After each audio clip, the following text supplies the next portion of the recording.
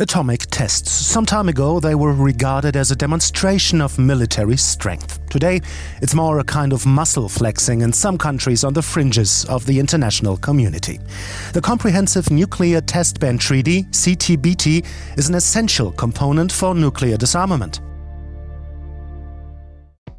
Behind this treaty stands the UN organization CTBTO. It's working double tracked, politically and technically.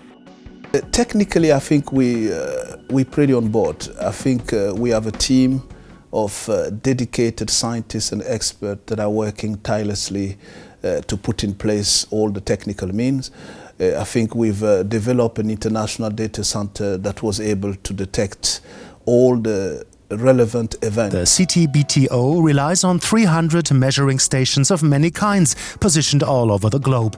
There's seismic systems and the very accurate radionuclide measuring stations.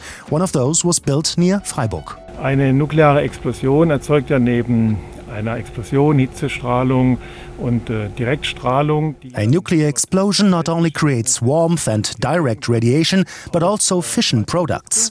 These fission products go up into the atmosphere and can be detected from thousands of kilometers away with radionuclide measuring stations.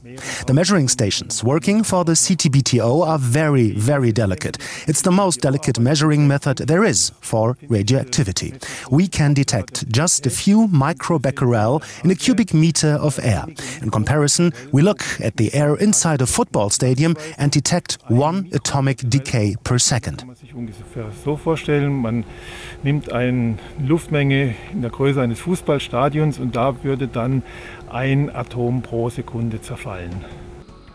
Creating this World Wide Web of measuring stations was one of the most important jobs for the CTBTO. It's a mammoth project with German participation. We could, could depend already on existing seismic stations because there was a net network, we could use this network, we had to collect uh, the uh, data, put them together for the states because all these data always belong to the states, not to the organization. Everybody was helpful because we came with nothing in our hands. Today, the CTBTO can rely upon a nearly gapless observation system, and it's working. Secret tests were detected.